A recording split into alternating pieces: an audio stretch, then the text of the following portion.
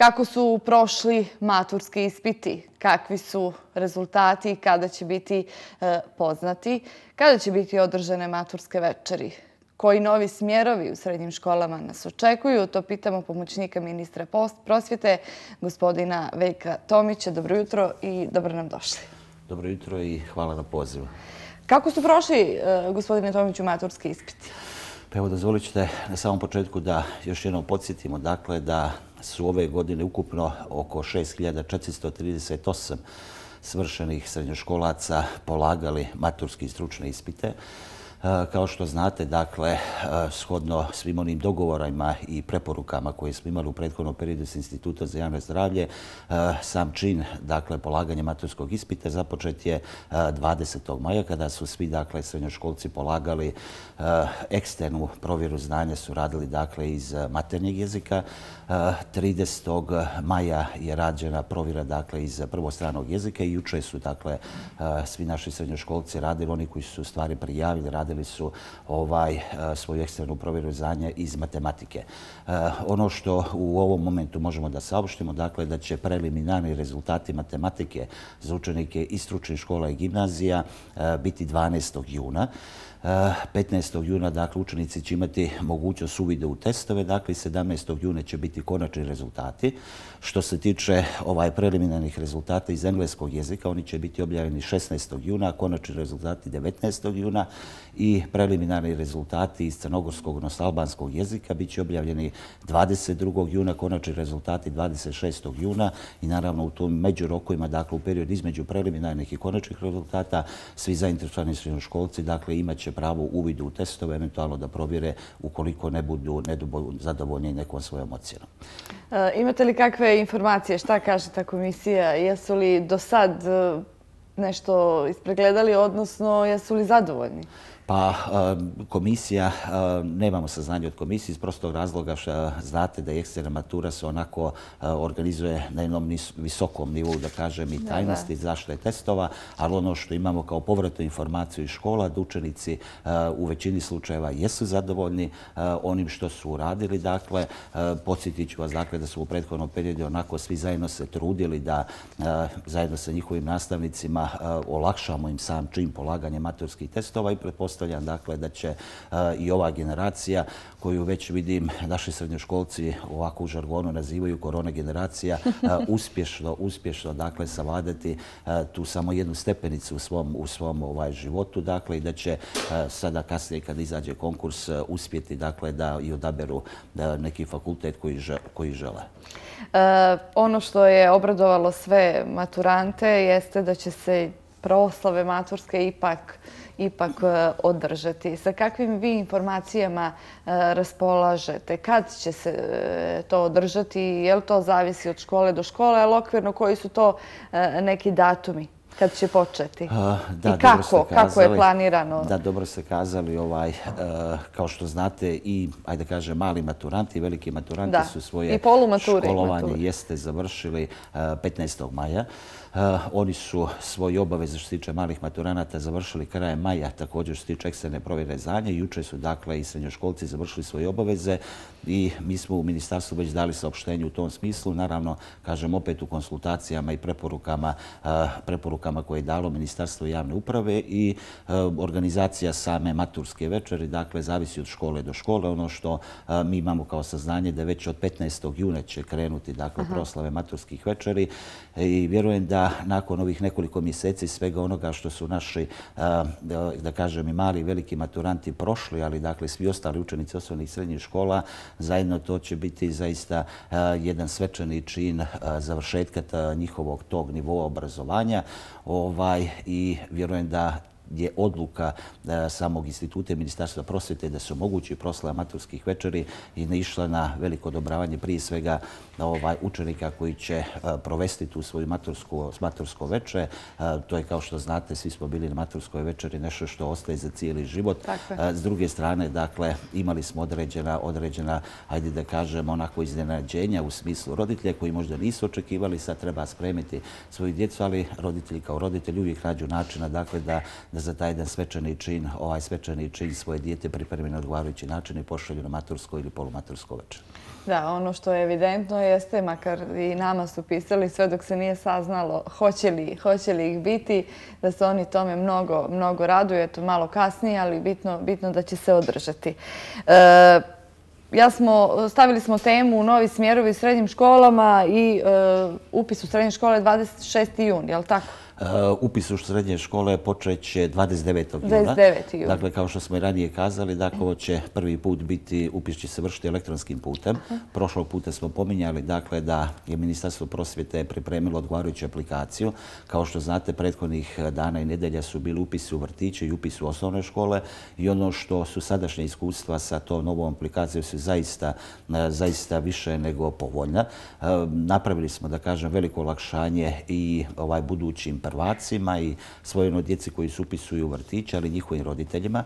Dakle, 29. juna će početi mhm. upis u srednje škole. E, konkurs za upis u srednje škole je završen. Vjerujem da ćemo krajem ove ili početkom sljedeće nedelje ga i objaviti. Sami čin, da kažem, predaje dokumenta, odnosno e, prijavljivanje kroz tu elektronsku aplikaciju će krenuti 20. 29. juna. I imamo li nove smjerove?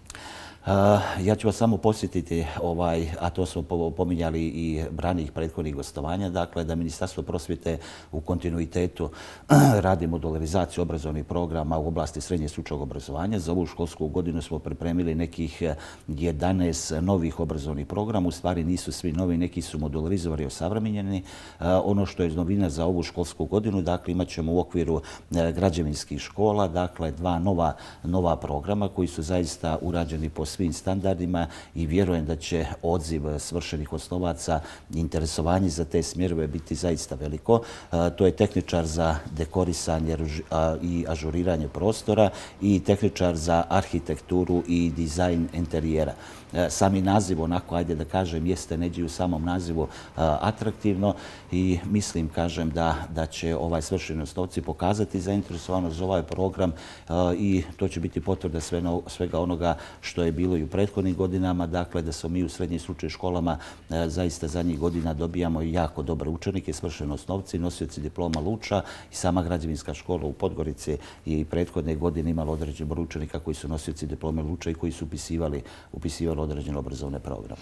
Eh, ubrzo ćemo uključiti i našu koleginicu Ninu. Ona jutro spošla do, do građevinske škole, upravo kada je riječ o tim e, e, deficitarnim e, zanimanjima. Imamo li dalje stipendija za e, ove e, deficitarne kvalifikacije? Kolike su?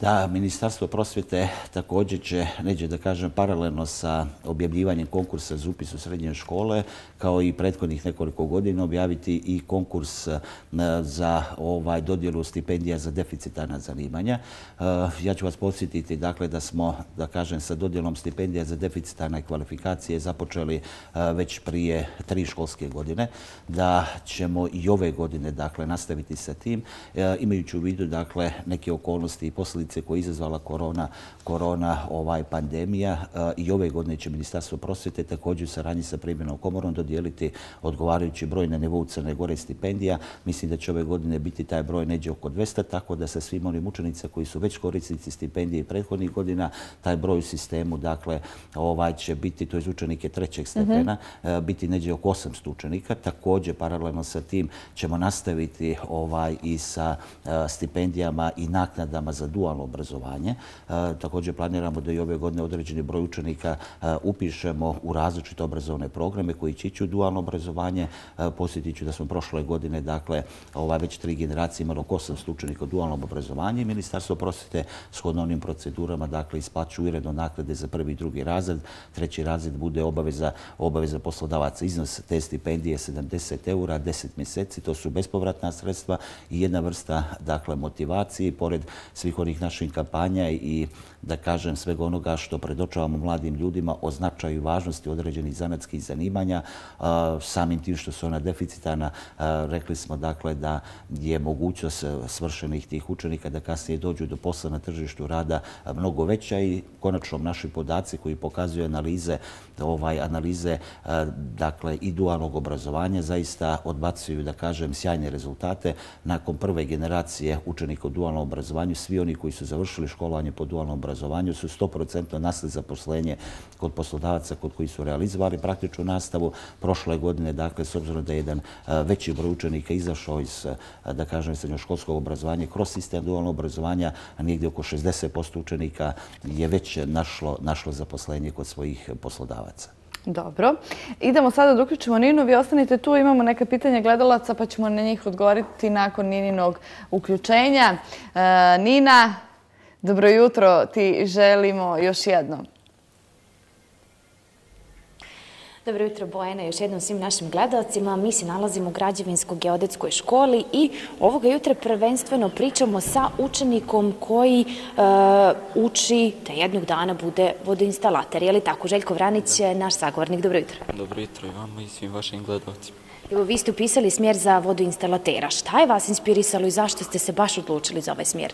Pa, moj otac se bavi građevinom, uz njega sam dosta toga naučio htio sam da usavršim svoje znanje i da imam diplomu, mada to je stipendija koju smo primali proteklih tri godine. Uh, stekao sam dosta društva što me dodatno inspirisalo da završim ovu školu. I koliko, uh, koliko vam ova škola pruža? Koliko upravo kroz učenje i ste u prilici da razvijete vaše vještine? Koliko je tu kombinacija teorije i prakse? Pa zadovoljan sam, profesori su uh, hoće da nam da vam pomognu, je li tako? Da pomognu, da nam približe gradivo, uh, dok se praks, praktična nas, nastava obavlja u radionicama i tu najviše provodimo vremena. Uh, ove godine smo bili na praksu vodovodu, to, to nam je dosta pomoglo i dosta nam znači. Dobro. I e, možeš li da nam kažeš da li bi e, sada e, polumaturantima, onima koji upisuju srednju školu, preporučio baš ovaj smjer i zbog čega? I koliko je vas u odjeljenju? Pa, nas je devet u odalenju. Pa može li se reći da je popularno da to zanimanje? Pa može, naravno. Jer posle ovoga možete odmah naći posao jer je malo njih koji imaju zanati i radit ćete u struci, što ako naučite, nije vam teško uopšte. Mhm. Da li bi ti želio da nastaviš e, da se baviš time? Da, naravno, želio bih da radim ovaj zanat i da imam svoju grupu ljudi i da sam svoj gazd. Mhm. Dobro, a možeš li da nam kažeš šta ti je to tokom učenja možda bilo najizazovnije? Da li postoji neki predmet koji baš i ne voliš toliko? Pa ne, sve je teško na svoj način, samo kada hoćeš da učiš, sve je lagano. Mhm. Jasno. I dobro, šta bi ti sad, pre, e, šta bi ti poručio uh, mlađim učenicima? Koja bi bila tvoja poruka i da li misliš da se danas odlučuju za, uh, za zanate? Pa, svi hoće nešto više, ali oni to ne mogu. Mislim, uh, da se ne zalijeću puno, da pogledaju šta je najbolje za njih, ako ne mogu to da prihvate da završ, da nauče toliko koliko su učili u osnovnu, bolje je da upišu treći stepen i nešto da rade kroz život, nego da se zalete i da ostanu u kući. Da si. Uh. -huh. A i da vode računa o tome sa čim će imati posla, je li nakon srednje već? Da, tako. Uh mhm. -huh. Dobro, hvala lijepo što si izvojio vrijeme za Bojutra. Hvala i vam. Dakle, to čuli ste i šta kažu učenika, čućemo i šta kažu profesori koji svakodnevno uh, provode uh, vrijeme sa njima. Sada, naravno, sve se to radi od kuće. Uh, profesorica stručne, odnosno praktične nastave, diplomirani inženjer građevine Milana Drakulović. Dobro jutro. Dobro jutro i svim vašim gledocima. Evo, čuli smo iskustvo jednog vašeg učenika. On nam je približio svoju priču i zašto se on odlučio upravo za ovaj smjer. Kako danas djeci približiti ovakva zanimanja? Znate kako, prije nego što bi vas uvelo u pojam zanate i značaj zanata, htjela bih da vas upoznam sa usmjerenjima četvrtog stepena u našoj školi. Tu su građevinski tehničar za visokogradnju, za niskogradnju, arhitektonski tehničar i dizajner interijera, koji su u poslednje vrijeme dosta atraktivni učenicima a, i pružaju dovoljno kreativnosti i razviju kreativnost kod učenika. I mogu vam reći da sva ta usmjerenja negdje pružaju dobru osnovu i temelj za nastavak školovanja, posebno koliko se radi o tehničkim fakultetima. A što se tiče zanata, ne znam zašto, ali u poslednje vrijeme sve manji broj ljudi upisuje, odnosno odlučuje se za sticanje diplome nekog zanatskih zanimanja. Iskreno, znam dosta razloga zašto bi to trebalo da bude suprotno, jer smatram da ljudi koji imaju zanat u rukama sutra imaju mnogo više mogućnosti za zaposlenje, mnogo više mogućnosti za zarade i da se izdržavaju tog zanata. Šta bih još naglasila, prilikom odabira Sad apelujem na osnovce koji upisuju srednju školu, prilikom odabira srednjeg obrazovanja, da se ne vode željama svojih drugara i roditelja i nekih trećih osoba, nego da vode račun o svojim afinitetima i negdje da i osluškuju realnost i tržište rada. Jer opšte poznato je da najmanje na birovu rada ima zanatlija i tehničara, a da je to mnogo više i pravnika i ekonomista. I iz tog razloga, i sad se pokazalo za vrijeme pandemije, da građevinarstvo nije jenjavalo cijelo vrijeme, i da su i tekako bili na tržištu rada cijenjeni i traženi dobri keramičari, vodoinstalateri, zidari. I smatram negdje da bi im to dobro, dobar sjutra zanat bio, znači da za nastavak dalje i za, za rad. A, onda isto bih apelovala preko upisa srednje škole da ne idu po svaku cijenu u sred, u, na četvrogodišnje a, stepene, posebno ako se radi o učenicima koji raspolažu sa manjim nivom znanja za praćenje programa četvrtog stepena, nego ipak da se odluče da budu majstori, jer, kažem vam opet, naši građani plaćaju i tekako mnogo više nego što je to nekad bilo ranije za njihove usluge. I smatram negdje da bi bilo adekvatno da, da, da pođu tim putem. E sad, e, naša inače e, škola e, posjeduje četiri radionice koje su opremljene i osposobljene za zanatske radove opremljeni su alatima i materijalom gdje oni obavljaju gro svoje nastave, jer je akcenat na praktičnoj nastavi. Tako da, da stvarno bih negde preporučila da razmotre zanat u okviru naše škole. Upravo to, aj negde smo kroz, e, kroz ovaj primjer e, učenika čuli da oni danas, odnosno on želi da bude sam svoj gazda. Koliko to može današnjim generacijama, mlađim generacijama biti negdje privlačno? Znate kako, ja kao prvo zanat ne bih olako shvatila jer zahtijeva i predanost i e, pedantnost, konstantno usavršavanje, rad na sebi, e, podizanje nivoa kvalitete izrade, tako da e, ukoliko je sve to slučaj, ukoliko idu stvarno tim pravim putem, uspjeh je zagarantovan. I mislim da za njih neće biti problema sutra da nađu posao i da se izdržavaju tog svog zanata. A isto tako ne bih zanemarila kod zanata ni tu kreativnu stranu, koja vam negdje olakšava posao i čini ga zanimljivijim. Tako da, da stvarno preporučujem mladima da, da i tu stranu razmotre, znači sutra. jutra. Jasno, hvala lijepo što ste izvojili vrijeme e, za boj jutra. Mogu još nešto napomenuti vezano za, e, za treći stepen. U sklopu nastave oni su e, protekli godine imali saradnju sa preduzećima građevinskim gdje su obavljali praksu. Tako da su mogli da vide sve, sva ta svojstva svojih zanata a, na nekom višem nivou, odnosno u sklupu gradilišta. Znači nisu to samo školski uslovi idealni, nego je to već i neka improvizacija i da vide kako se radi u timu, što im je u mnogome značilo. I često se dešava, čest je slučaj da upravo neki od tih učenika ostanu i dobiju svoj prvi angažman u, svoj, u tim firmama. Mm -hmm. Jasno. Hvala vam lijepo što ste izdvojili vrijeme za boj jutra. Nema na čemu. Žao mi je što niste u mogućnosti da dođete kad su u, u toku, kad je u toku nastava, pa da vidite kako to stvarno izgleda, ne ovako na riječima da se završi. Biće prilike, svakako sigurni smo. se. Hvala vam. Hvala još jednom. Dakle, eto, Bojena, čuli smo i šta kažu učenici ove škole, a šta kažu i nastavnici. Veoma je važno da vode računa o svojim željama, ali naravno ne treba zaboraviti ni zanimanja poput vodinstalatera, keramičara i ostalih zanata. Sada se vraćamo u studiju. Hvala ti Nina mnogo, vidimo se brzo sa nama u studiju i dalje. E, gospodin Veljko Tomić, pomoćnik ministra prosvjete, govorili smo jutro o, o novim smjerovima, o maturskim večerima. E, evo i pokazali smo e, sa učenicima i sa profesorima građevinske škole e, šta to e, nude svi ti neki ovi smjerovi za, posle kojih možete lakše doći do zaposlenja.